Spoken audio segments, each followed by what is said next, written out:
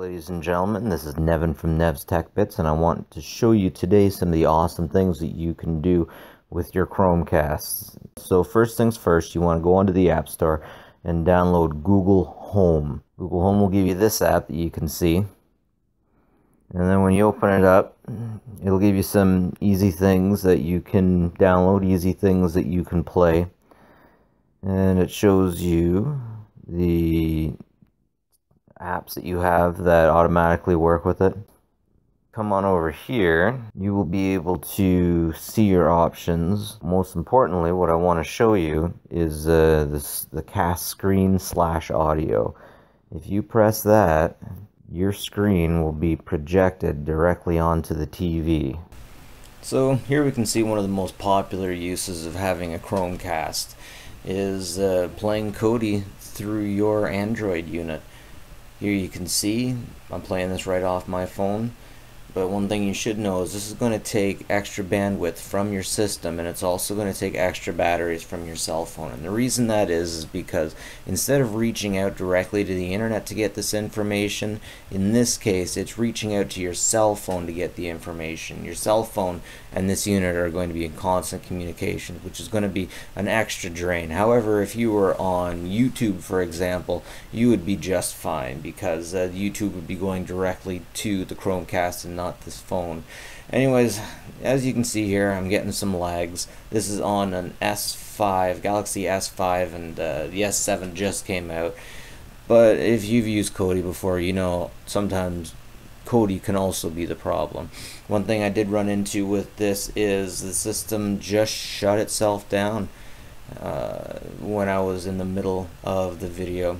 Actually I shouldn't say it shut itself down. It went to black and it stayed black. I had to go unlock my phone again but I don't know why it locked up.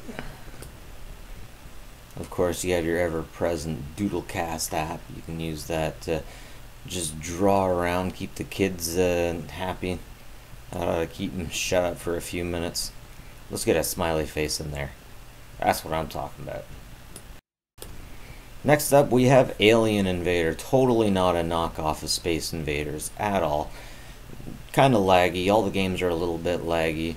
There's a there's a definite pause when you press a button as to when uh, the unit on the screen moves.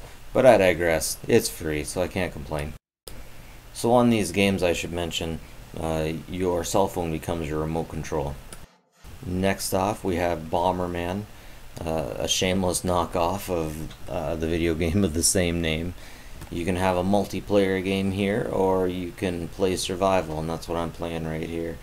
It's a little bit of a lag, of course, just like all the other games, but still fun.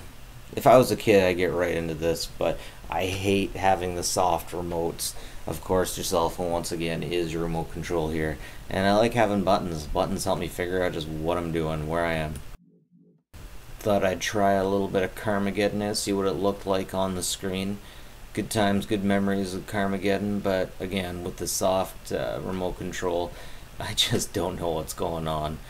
I'm sure I could uh, get some adapters to hook a real one up, but I'm not doing that right now. Of course, naturally, you can cast your music library to whatever you got your Chromecast hooked up to You can also cast what's on your computer screen if you use the Google Cast app from Chrome. You can easily find this. Just search in Google for the Google Cast. It'll take you directly to uh, the Chrome store, chrome.google.com. And of course, you just install that extension. This is exactly how it's done. Uh,